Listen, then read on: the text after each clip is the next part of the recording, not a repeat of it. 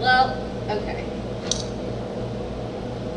I could do I could do a long a long one or a not long one. Well, what's more of a sin? Well, neither of them. I don't really write songs about sinning. What? I guess all of my songs are about sinning also. It gets I guess it just depends on who you are. Um, but how about no? I'll do this. This is a song. It's not about sinning, but it's about it's about having sinned and being loved anyway.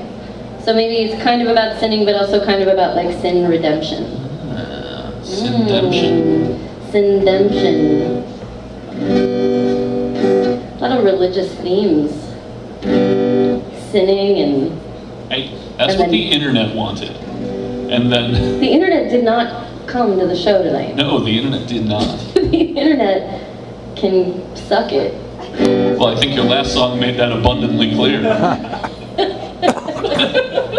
on top, right? No, it's not expressly the internet. well, are you gonna throw us under the bus, Jim? internet, suck it. I don't care.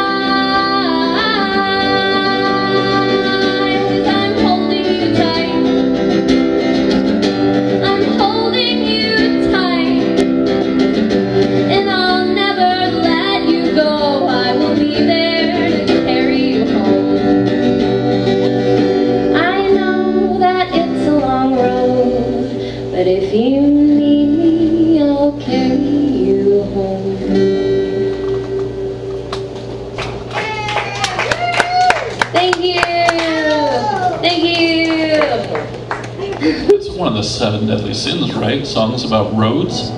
Gluttony, sloth, Songs about road. road songs. Um, I know my Bible. Long and winding road. That's some That is devil all seven deadly That's sins some devil music. together.